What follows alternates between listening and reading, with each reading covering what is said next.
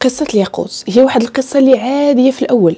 ولكن غادي تاخذ واحد الاتجاه اللي هو غريب مع الوالدين ديالها خصوصا مع الأب. حتى الأم عندها دور. الأب اللي بعض المرات يدير راسو بلي انه عنده دراية بالدين وبالشريعة لكن للأسف ما مطبقهاش في الراعية ديالو.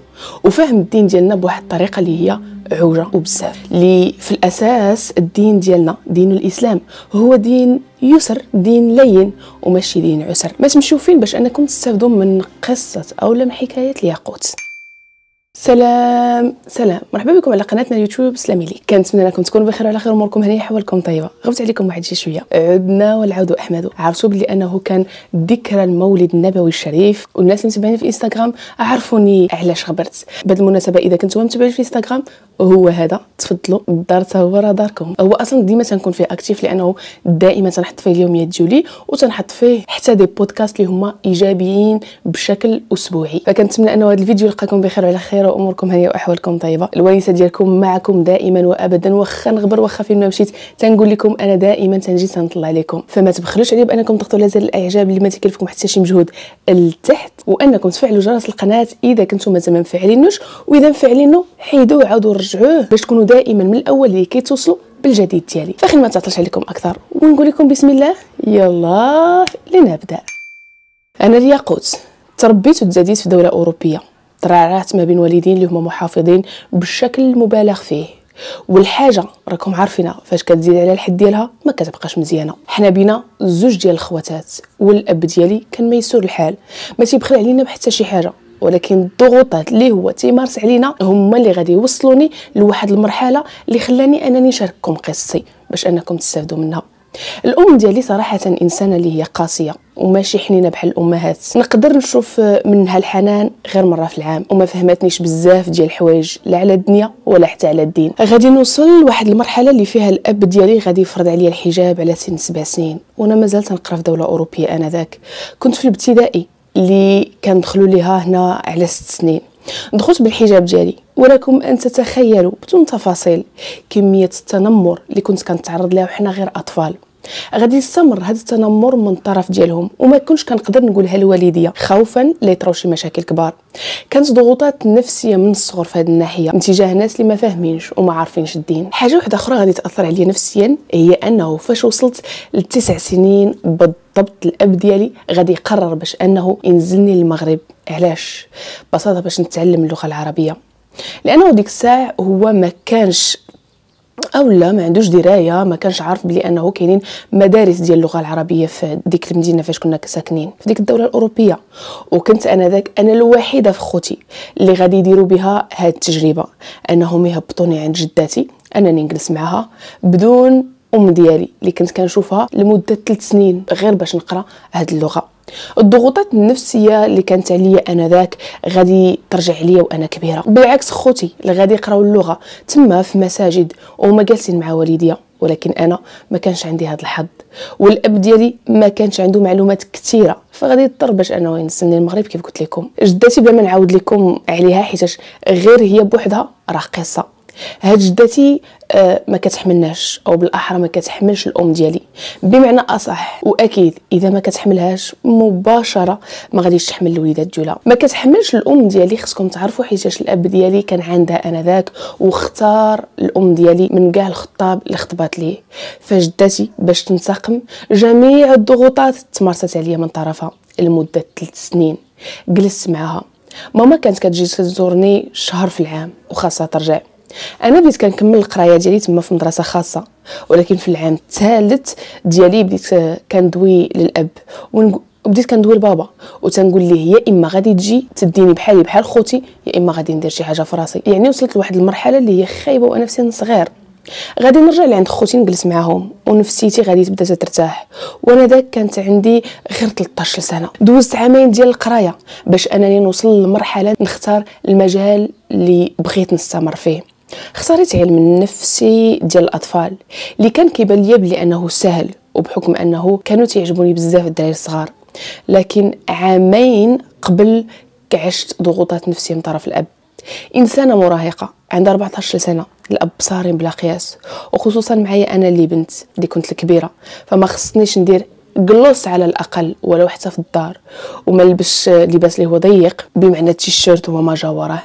ممنوع هذا الشيء كله أنني نديرو في الدار علما أنه حنا بيناتنا غير العائلة بابا وماما وخوتي فقط. كان المفروض علينا عباية طوال ماشي عباية عباية ولكن مهم كساوي اللي هما طوال في الدار. وتخيلوا كنت كندير الزيت حتى في الدار حتى ندخل لبيتي ونسد عليا. أنا أنا ذا كنت كنستغرب. ونسول علاش الأب ديالي تيدير معايا بحال هكا. هو صراحة ما كانش حارمنا من والو خصوصا فاش كنا كنجيو المغرب. شاري لينا اللي بغينا واكلين اللي بغينا وكندورو زوج ديال المرات في الشهر فاش كنجيو بالحساب. كانت فعلا نفسيتي مدمرة حرفيا. ما عرفتش خوتي ولكن عن نفسي آه. فاش كنت كنمشي كنشكي على ماما كانت آه، ما كتقدر دير حتى شي حاجة. حدا كتقول لي وهذاك باباك شنو نديروا ليه؟ تلوحيه؟ تنكريه؟ فأنا ضربت عليها. واختاريت أنني ما نبقاش نصرحها بأي حاجة في خاطري. لدرجة أنه غادي نبلغ آه على سن 11 سنة. وأنا ما عارفاش شنو تيطرى ليا. وكنت كنزف بالدم. وخايفة أنني نمشي نقولها للأم ديالي. ببساطة خايفة لأنها تضربني أو لا تلومني بلي أنه درت شي حاجة في راسي. حيت آه، ما هي مقربة مني ما أنا عارفة شي حاجة. يعني من كثرة الخوف وقلة الحوار اللي تربينا فيه كانت هذه هي النتيجة. مع الوقت فهمت بلي أنه الفلوس ماشي كل شيء والراحة النفسية مهمة واخا يكون عندك غير عشاء ليلة. المهم غادي دوز هاد عامين ودخلت لمدرسة جديدة ديال علم النفس الأطفال وكانت بعيدة من دارنا بثلاثة ديال السوايع. والأب ديالي وهنا غادي يقترح على العم ديالي حيت عايش في نفس المدينة فين كاينة ديك المدرسة باش أنني نجلس عنده. وبصراحة كنت جالسه معاه معززة مكرمة وعمرني ما سمعت منه كلام العيب واللي كان تيدير مع ولادو كانت كيديروا معايا. ما كانش كيدير ما بيناتنا الفرق. واخا كيجيب لهم فانده حيت هما كانوا صغار بزاف فكان تيجيبها لي حتى أنا. والحمد لله عمامي كلهم عندي معهم علاقة زوينة ووطيدة. ولكن الراحة النفسية ما غاديش تكون مع عمي. لأنه ببساطة ماشي المشكل فيه ولكن مرته قتلاتها الغيره من جهتي. على كيفاش هو كان تيعاملني؟ قبل ما نخرج كان ديما كيعطيني واحد المبلغ مالي اللي هو بسيط. ورغم أنه الأب ديالي عمرو ما خلى ليا جيبي خاوي. وهنا غادي تبدأ معاناة مع مرت العم. اللي كتبدا كتغير مني. وعلاش كتعطيها ودير ليها وتفعل ليها. فاش كنت كنجيك من المدرسة وكان عمي في الخدمة فباش هي كتنتقم مني ما كانش كتخلي لي الغدا. فكنت كنضطر أنني ناكل على برا. أولا نجيب لي شي حاجة ناكلها بالتخبية. غادي نقرا في هذه المدرسة لمدة 3 سنين ولكن ما كملش لأنه في أول سنة ديالي غادي نتعرف على واحد الإنسان في البلاكه ديال الطوبيس واللي هو من أصول عربية. كنت كل مرة كنتسنى الطوبيس اللي يديني المدرسة كان تيبان لي هذا الشاب كيشوفني بنظرات اللي هما ديال الإعجاب. استمرات هذه الحالة لمدة أسبوعين كيشوف فيا وكنشوف فيه. حتى غادي يجي وتجرأ عليا ويطلب الرقم ديالي. وأنا كيف قلت لكم؟ بحكم أنني عايشة في واحد البيئة اللي هي صارمة بلا قياس وكنخاف غير من جنابي فما بالك أنك تعرفي على الشخص وتخرجي معاه أو لا أه تبادلي أنت وياه النوامر. فكنت رافضة هذا الموضوع رفض اللي كان تام. لا نقاش فيه. قلت لي غير سمح لي اخويا ما نقدرش نعطيك وغادي يستمر هذا الإلحاح ديالو وغادي يقنعني في الآخر باللي أنا راه ما كيتفلاش. غادي نستسلم وغادي نعطيه الرقم ديالي. ولكن قلت ليه رقمي عندك؟ ولكن ما تصيفطش ليا لأنه الأب ديالي تيراقبني وصارم معايا. الأب ديالي كان رافض رفض تام ديال أنه الواتساب ديالي يكون فيه شي حد من غيره هو وماما. مستحيل أصلا يكون شخص واحد آخر أو لا غادي يندمني ويحيد لي التليفون لمدة طويلة كعقاب ويقدر كاع يجلسني في الدار. وراه دارها. أنا جايكم القصة. في ديك الوقت ما كنتش أصلا متيليشارجي على فيسبوك لا إنستغرام لا حتى شي حاجة. فغادي طيح ليا فكرة أنني نتيليشارجي غير الإنستغرام وندير كونط ونخبيه. عطيت لذاك الصديق الحساب ديالي ونمرتي وكندوي ليه إلا في الضروري وقلت ليه هذا هو حسابي. وهذا الشيء كله ها علاش وها علاش. حكيت ليه القصة ديالي مع بابا بجميع تفاصيلها. بقينا كندويو في داك ال compte بالتخبية حتى تطورت العلاقة إلى علاقة حب. وفي وقت الحصص الفارغين كنت كنتلاقى معاه. استمرت العلاقة وبديت كنشوف بلي أنه هذا السيد فعلا تيبغيني وعمره ما قلل عليا الأدب ولا حتى الاحترام. وتخيلوا معايا عمره أصلا ما قال لي لا جي عندي للدار أو لا أجي ديري. هذا الإنسان حتى هو عايش هنا ولكن والديه ما عايشينش معاه. خدام وكريم على الزوافريه يعني إنسان اللي هو حارق ودار الوريقات ديالو بالجهد ديالو وتيقلب على لقمة عيش ديالو. وهذه أكثر حاجة عجبتني فيه لأنه دمار وراجل. علاقتنا استمرت. في العام الثاني ديالنا قررت باش انه يدير معايا شي حل وغادي نقولها ليه بطريقة اللي هي غير مباشرة. فهاد النقطة بغيت نقول لكم واحد الحاجة نسيت ما قلتها لكم في الأول. شنو غادي يخلي هاد الإنسان وحتى أنا أننا نتسرعوا باش يجي يخطبني؟ ببساطة كانت عندي واحد صاحبتي اللي كانت كتقرأ معايا متدينة وهي كانت دايرة الحجاب الشرعي ولكن أنا كنت دايرة حجاب اللي عادي وكنت كنثق فيها وكنعطيها الأسرار ديالي وتنعاود لها على العلاقة ديالي بهذا الإنسان. وهي بحال كانت كتقرص مني وما عجبهاش الحال وكيفاش انت تسبقيني وأنا في هذه المدينة قبل منك وكبر منك بعام. هذاك هو كان عقلها هي. بحكم أنه كنت كنخرج مع هذا الشاب وكنت كنعيط على عمي راني معطلة في المدرسة وما كانش كيدي ولا حتى يجيب حتى الأب ديالي. بحيلة صافي عرفوني وثقوا فيا حيت عمرني ما درت أصلا شي حاجة اللي هي خايبة. المهم هاد الصديقة ديالي للأسف واحد النهار غادي تجي لعندي وتقول لي الياقوت واش فراسك بلي أنه كاع الناس سيقي الخبر بلي أنه كتمشي مع فلان وانت بنت فلان ومن الأحسن أنه يمشي يخطبك من داركم؟ حيتاش اذا مشى حتى وصل الخبر لداركم ما غاديش يعجبهم الحال. وهنا ببساطة آه، لأنه هي كنت عارفة مزيان أنه الأب ديالي مستحيل أنه يزوجني بشي واحد من دولة عربية واحدة أخرى أو حتى في هذا السن لأنه عندي اولوياتي هي الدراسة والخدمة وما عنديش الحق انني نفكر في الزواج. وحيتاش كنت غادا بنيه صافية. وباغا آه هاد الإنسان وما باغاش نخسر علاقتي بوالديا غادي يجي في شهر ثلاثة. من بعد ما عطيت لي النمرة ديال الأب ديالي ويدوي ليه عمي راه عجبتني بنتك وبغيت نتقدم ليها. قال ليه بابا اسمع فلان. أنا ما عنديش بنات للزواج. وحتى إذا فكرت أنني آه نزوجها ما غاديش نزوجها بجنسية من غير مغربية. واصلا بغيتها باش تكمل قرايتها وتكون مستقبلها. وديك الساعة أنا اللي غادي نزوجها بشكون بغى خاطري أنا. وقطع لي التليفون. هاد الإنسان ملي سمع هاد الهضرة ماشي تخلى عليا أو قال لي صافي باباك راه ما بغاش الله يعاون بقى بجنبي. ساندني وعاوني وقال لي أنا ما غاديش نخليك وغادي نبقى معاك غادي يطلع معايا راجل. خصوصا وأنا في سن المراهقة وحليت عيني في الدنيا عليه هو هو اللي كان تينقدني بزاف ديال اللحول والأغلاط قبل ما نوقع فيهم. كنت محجبة عمرني ما درت شي حاجة اللي تغضب مولانا ولا حتى والديا. واخا كنت معاه كانت العلاقة ديالنا والله العظيم مبنية على الاحترام.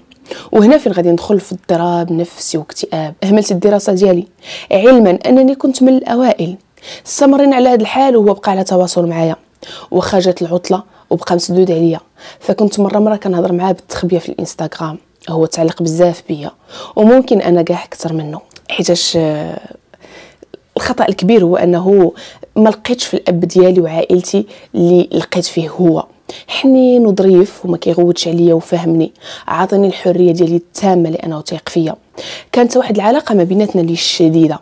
السنة الثالثة ديالي اللي كنت فيها غندخل المدرسة غادي نتلاقى أنا وهذا السيد اللي كبر مني بثلاث سنين. وغادي يقترح عليا بلي أنه خاصنا شي طريقة اللي غادي نحطوا فيها الوالدين ديالنا أمام أمر الواقع. وحتى والدي لأنه ما كانوش باغيين. بقينا تنفكروا. تنفكروا تنفكروا ورغم هذا الشيء كامله والله العظيم عمرني أو لا عمرنا ما فكرنا في طريق الحرام. كنا فعلا آخر حاجة كنا كنفكروا فيها. فغادي نستنجوا في الأخير بلي أنه الطريقة الأنسب لنا بزوج هي أننا نهربوا فهو كانت جاتو فرصة عمل زوينة وبالدار اللي هي خارج ديك المنطقة اللي أنا عايشة فيها 300 كيلومتر. مشيت مع هذيك الليلة اللي خليت حتى نعس كل شيء. ومشينا وحيدت الرق خرجت من الدار وحيدت الرقم ديالي. بقيت معاه لمدة ربع أيام. أثناء هذه الفترة والدي يعيطوا على البوليس وطرات البلبلة والهيلالة. والبوليس نادوا تيعيطوا لهذا السيد اللي جابوا الرقم ديالو من عند والديا اللي كانوا عارفين باللي أنني كنت متعلقة به. وأول حاجة جاتهم في بالهم باللي أنني هربت معاه.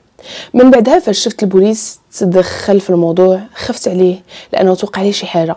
أما هو ما كانش خايف نهائيا على راسه أو لا حتى على ورقه ولا حتى على خدمته. وكأنه معمي. من بعد ديك ربع أيام غادي نتجرأ وغادي نعيط لبابا. وغادي نقول ليه إذا حيدتي البلاغ اللي درتي غادي نرجع برجليا وفعلا داكشي اللي كان. حيد بابا البلاغ. ومشيت مباشرة للدار. وهنا غادي تحطوا أمام أمر الواقع شكو بلي انه طرات شي حاجة ما بيناتنا. لكن والله العظيم ما وقع والو. واخا جمعتنا دار وحده كان كيحترمني وعاطيني بيت بوحدي لدرجة أنه ما كانش تيجلس معايا خوفا لأنه يغرنا الشيطان. كان كيجيب لي غير الماكلة وكيسولني شنو بغيت وكيخرج من بعد بثلاث شهور غادي يتقدم لي رسميا وغادي يوافق بابا حيت ما عندوش حل واحد آخر. وغادي نتجمعوا ونديروا خطبة كبيرة كأن شيئا لم يكن وبدون علم العائلة اللي كانت بعيدة. كانوا أسئلة نتاع البنت باقا صغيرة وعلاش وكيفاش. ولكن والديا كانوا كيجاوبوا بغات الله يسهل عليها. واخا الأب ديالي وافق لكن ما تقبلش الفكرة نهائيا وما حاملوش. من بعد الخطبة اللي داز في شهر 12 شهر 5 بالضبط غادي نديروا العرس. لكن قبل هذا الشهر 5 طراو أحداث اللي هما طويلة بزاف.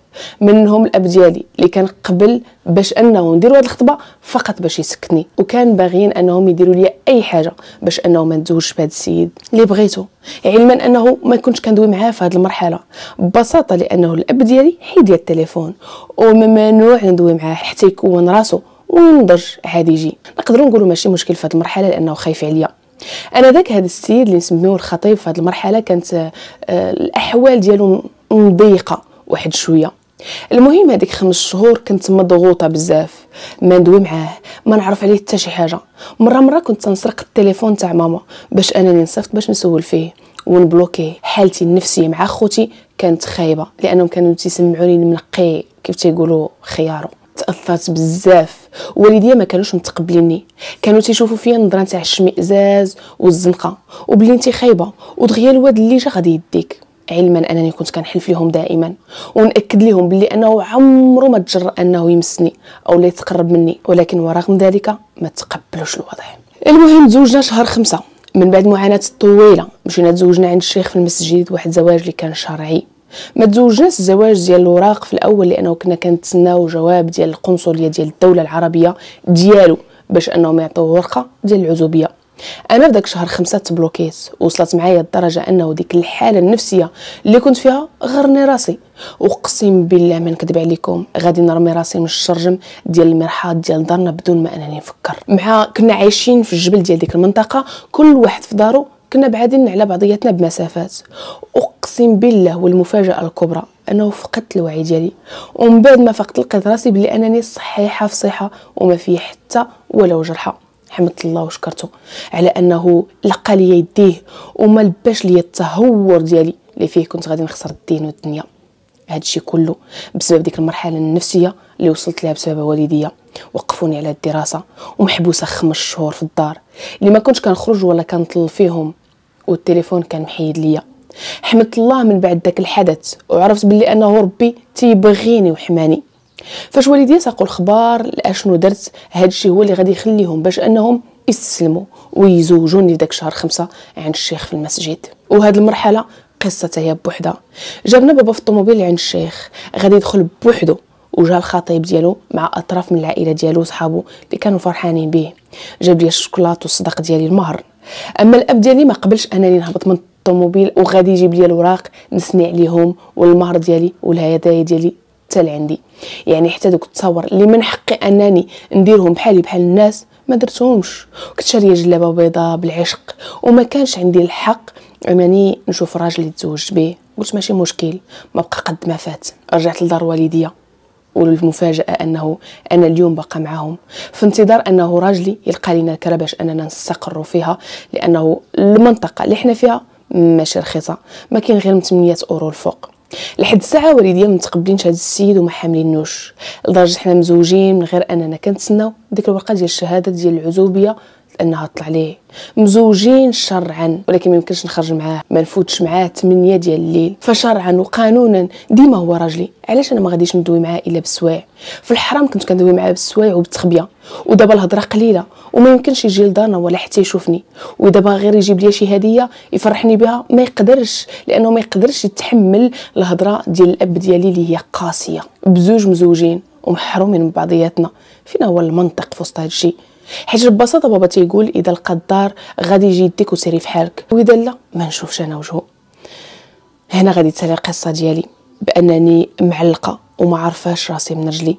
كيف تيقولوا ماني عروسة؟ ماني مطلقه ماني مزوجة. وليدي في الأخير غادي يتقبلوني. وبيناتنا الهضره بالقياس وليت كنقول لراجلي أنا مزوقه شوف لينا غير شي قفص. اللي كان غير نخرج من هنا وما نعيش الضغط.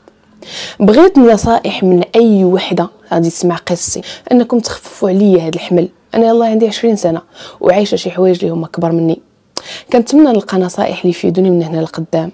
والعبرة من هذه القصة ديالي ونصيحتي لكل بنت اللي عندها شي أب مصاحبها ما تحاولش أنها تقلب على شي حاجة برا حيتاش عندها الدنيا وما فيها.